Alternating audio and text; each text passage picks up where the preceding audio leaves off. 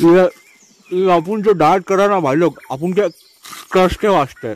या अपन की क्रश को ना सिक्स पैक एप्स वाला बंदा चाहिए। वो ना अपन को क्या है ना, छोले भटूरे और आलू के पराठे के वाला कुछ पछता नहीं है भाई।